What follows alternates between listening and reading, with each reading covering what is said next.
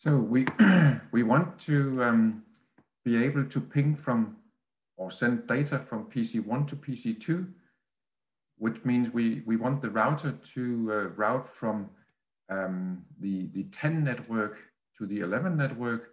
We also want to be able to uh, send data from PC2 to PC1. So obviously uh, the routing should take place in the other opposite direction from 11 to 10. Um, and this routing obviously has to take place inside the router from 10 to 11 and uh, from 11 to, um, to the 10 network. So in order to, um, to configure the router to do this, let me bring up the, um, the router here or workstation. And here we have the router. The router is not powered on, but obviously in order to, to configure it, we have to power it on. So that is what I'll do now. I'll click power on. Uh, we have it running here indicated by the little green arrow. Um, so, so this is the representation up here of, um, of our, um, in the diagram, the, the VSRX that we have over the diagram here. That is what we want to um, configure. In order to configure the router, I will use uh, PuTTY. I have it down here on my taskbar uh, as an icon here, PuTTY, so I'll bring that up. And um, I have already saved uh, a session for my VSRX underscore one here, so I'll load that. A little um, moving around here. Here we go. I have to hit it there. So there I have my um, uh, my terminal, my window, uh, and my keyboard into my uh, VSRX. If I click enter here, I'm in login um, in the login mode here. So I log in on this brand new SRX, and in the beginning you can see there's there's not set um, password. Um, the the router can be in different states. We we started in login state in order to enter uh, the Linux um, state or the, the operating operating system on the box. We have to enter username and password. I only entered username, which in my case was root. The reason why I didn't enter a password is that uh, there is no um, password when you have uh, just have unboxed and powered on your VSRX. It is in a so-called amnesiac mode, and we have to bring it out of amnesiac by setting um, a password on the box. First, we have to to enter the actual Junos software we are in Linux and I'll enter the command line interface, CLI. Here we are. We are now in, um, in mode. And I enter that, as you can see up here, indicated by entering CLI. That's how you get to command mode. From command mode, we want to enter the configuration editing mode, which we have here. So um, in order to, um, to enter that, uh, we have to type, as it says there, we have to type edit. So that is what we do edit. There we are. We are now in configuration mode as indicated over here. Let us get a password entered. So I'll type edit. Uh, system authentication.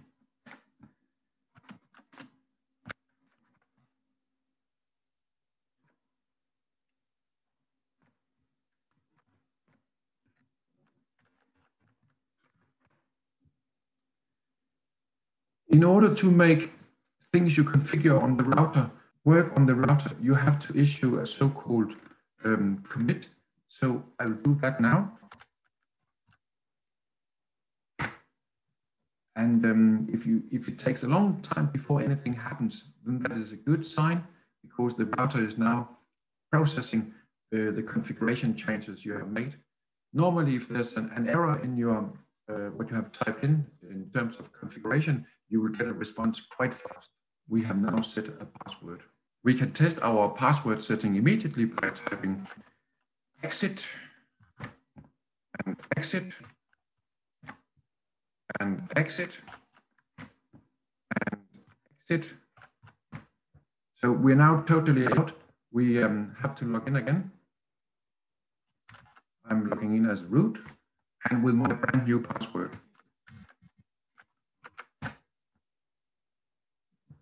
Do I have to stress that you have to remember your password? There's a little issue here. You can see my cursor is up there. So And clear screen, I mean, we'll clear, we'll do the job um, as we are in Linux at this stage. So let's, let's enter the CLI again and enter uh, edit mode. It is convenient to set um, router name that will pop up in, in your prompt. That will help you when you have more routers to work with, um, so you don't mix up which one you are um, configuring. So um, I'll do that here.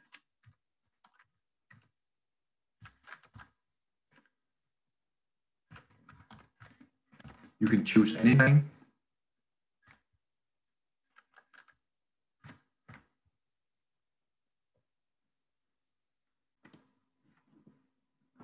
And we can now see that our, our prompt here is now actually reflecting the name of, of um, our VSRX here. So um, that, that's, uh, that's convenient to, to have this. Uh, it, it, will help not uh, mixing up things. Now, finally, we are, we're ready to configure the, the two interfaces on, on, our, um, on our router, the GE002 uh, and the GE002. So let's configure those interfaces now.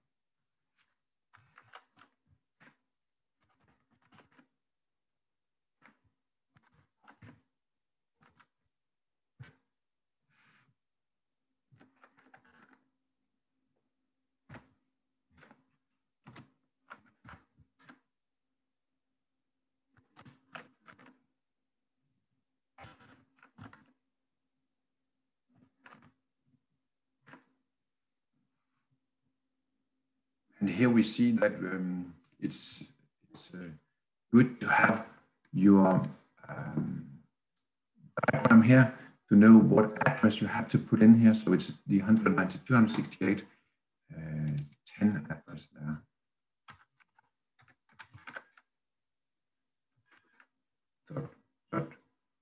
One, uh, sorry, slash 24. Let's configure the other interface, the um, GE002. This for the was for the G001. So let's get G002 here.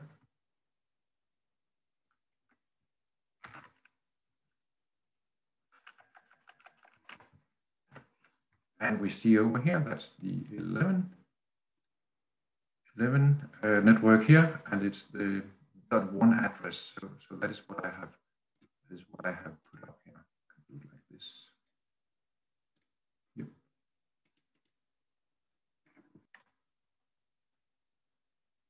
Commit. And as I said before, if it takes a long time, it's a good sign. Let us. And there we go. Uh, everything is okay.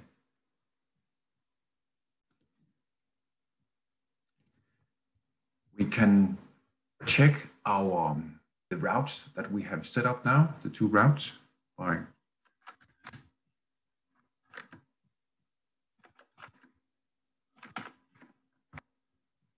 that is our routing table.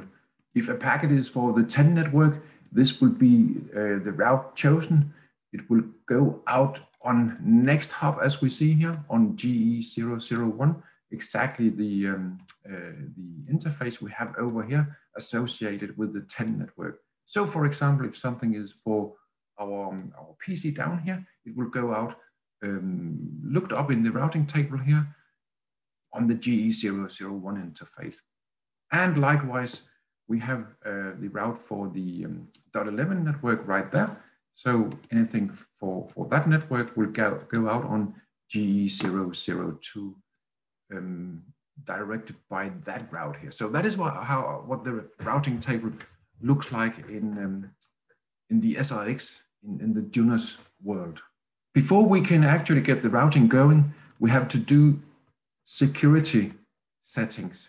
The SRX is a security device, and by default, the interfaces are locked down. So let us configure the uh, security settings.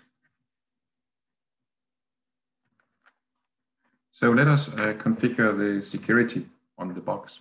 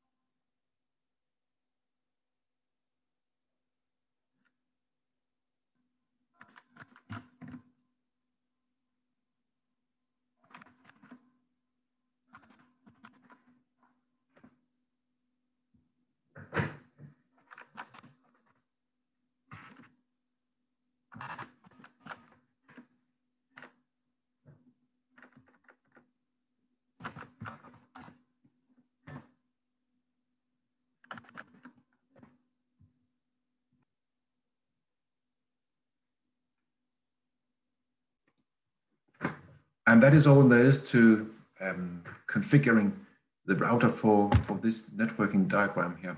So let's go over now, now and now and um, check if we actually do have routing between the two networks. So I'll tap into PC1 here and issue a ping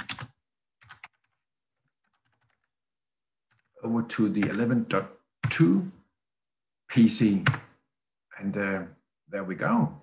We have um, routing from 10 to 11 and also from 11 to 10 because pings go over to uh, um, PC2 and PC2 replies back to PC1. So actually routing is working bidirectional in both directions. Let's go over to PC2 and um, check out here if, if we can ping PC1. So let's check if we can ping PC1.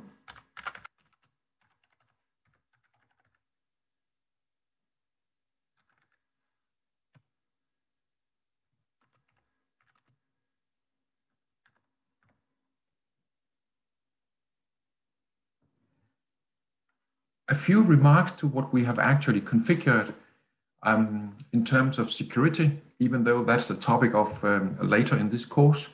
We are in the um, security zones configuration level here. And if you issue a, a, show, we can actually see what we have configured, what our configuration is. So what the security configuration here shows is that um, we are in security zone trust. What that means is that um, GE interfaces GE001 and 002, they are, let me see if I can hit this, they are in the trust zone. What that means over here in our diagram is that these two interfaces here, the GE001 and the GE002, they are in the um, trust security zone. You can see here that there are no IP addresses involved. This goes on the interfaces. Further, we can, we can see that um, uh, we have allowed pings, we have allowed interface GE001 to reply to pings, and we have allowed GE002 to um, reply to pings. So let's test, test that out.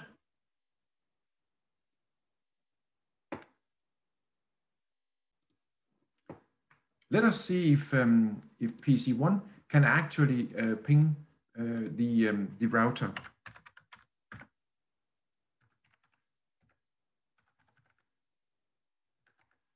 One, that is, um, that is our router. And we can ping our router. That's a nice little test that we can actually ping our router interface.